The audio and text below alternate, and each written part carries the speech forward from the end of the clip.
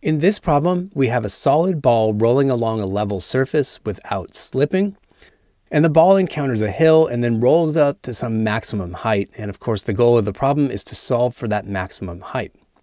Now, the key point with rolling without slipping in this case is that when we get to the final state of the problem, there is no motion at all left in this. If it's rolling without slipping, then when it hits that turning point, it has no translational kinetic energy, meaning it's not moving up or down the hill anymore. And it's also not spinning at that point of maximum height. So this means all the initial kinetic energy, both the rotational and translational parts, has been converted into gravitational potential energy in the final state. So to solve the problem, we'll just start at the beginning and say E initial is equal to E final. And in my initial state, I have two types of kinetic energy. I have my translational piece, which for now I'm just going to talk about generically as 1 half mv squared. And I have my rotational piece. Again, avoiding any specifics at this point, just 1 half i omega squared. Then in my final state, I have only the gravitational potential energy, which I'll call mg times y final. Okay, then we plug in some specifics about all of these terms. In my translational piece, I want to be clear that the v I'm talking about is the center of mass velocity of the rigid body. And we use a v naught for that in this problem. So I have 1 half m v naught squared. In my rotational piece, I need to be clear that this i is the moment of inertia about the center of mass, which for a solid ball is 2 fifths mr squared, and I'll post a link to the video where that was derived. Now the other thing I want to do in this term is enforce the rolling without slipping condition. That gives us a connection between the angular speed and the speed of the center of mass. So in our initial state, this thing is rolling along with a center of mass velocity of v naught, but that means it's also rotating with some angular speed of omega. And as it turns out, the relationship between that center of mass velocity and the rotation speed is given by v center of mass equals r omega. And I'll post a link to the video where that was derived.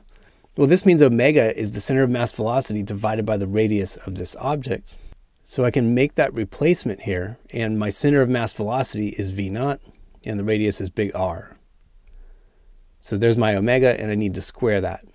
Finally, I have my potential energy term where my final y value, we had a name for that. That was h max, and that's what we're trying to solve for. So things start to clean up a little bit. These two factors of r are going to cancel out. And here's a 2 that's going to cancel out. And so on the left-hand side, I have this term with 1 half m v naught squared. And then I have a term with 1 fifth m v naught squared. So doing a little factoring there, that's a 1 half plus 1 fifth times m v naught squared. So the m's cancel out. So finally, we're able to solve for h max in terms of all the given quantities. And in our previous step here, we had a 1 half plus 1 fifth. Well, that's 5 tenths plus 2 tenths, or 7 tenths. So that gives me a 7 v naught squared over 10. And then to isolate h max, I had to divide by g. So that ends up in the denominator here. So that result doesn't depend on the mass of the ball or the radius of the ball. It purely depends on the distribution of mass within the ball. In other words, the moment of inertia for the particular shape that we're rolling up this hill.